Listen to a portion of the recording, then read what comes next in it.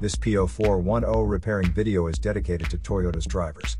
If your Toyota is getting a P0410 error code, this video is going to show you two practical solutions to fix the error code at home. Use the ZUS app to scan your vehicle and see the error code P0410. It indicates that the engine control module detected the engine oxygen sensor did not detect an increase in the oxygen level in the exhaust when the air injection system was commanded on during an active test. Here are two of the most practical solutions to fix Toyota's P0410 error code. Method A, the air injection pump. The air injection pump will be placed at the front of the engine with the serpentine belt wrapped around it. First, carefully remove the air injection pump from your engine. Visually inspect the air injection pump's pump pipe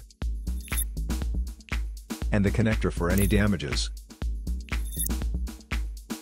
Use a multimeter to test the air injection pump. The standard resistance should be close to 0 ohms.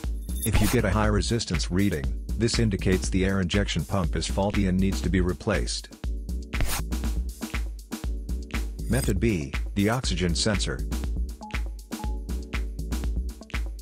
Oxygen sensors are mounted directly onto the exhaust pipe near the catalytic converter. Locate the sensor that responds too slow as it ages. Visually check the oxygen sensor's electrical connections, wire harness, and metal tabs for any damages. If the damages are found, then replace the oxygen sensor.